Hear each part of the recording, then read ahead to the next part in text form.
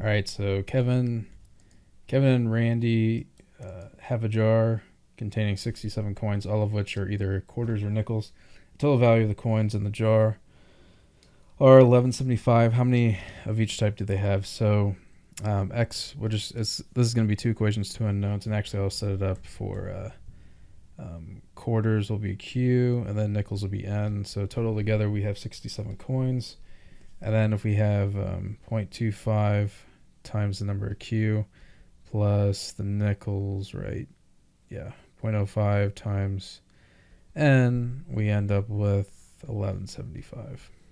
So all we have to do is substitution. And then to do that, all we're going to do is we can just make it so like n is equal to 67 minus q.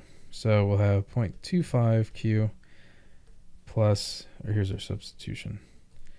Um, 105, 67 minus q is equal to 1175. So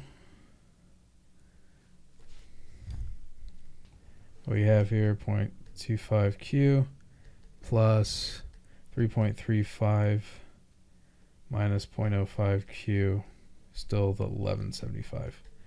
Okay, so subtract this so I get 0.20q, and then subtract 3.35 from 11.75, and I end up with 8.40. Divided by 0.20, divided by 0.20. Uh, I was supposed to block this out. Um, and then I end up with Q.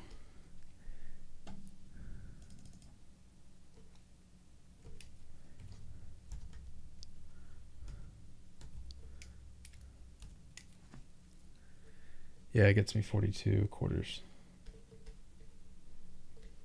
I was supposed to block out the top, but yeah, pay attention. Okay. Um, all right, so we have Q. So 42 plus N. This is the first equation we wrote is equal to 67. So minus 42 minus 42. So we get N is equal to 2, 5. So 25 nickels. So 25 nickels and 42 quarters. And that's it.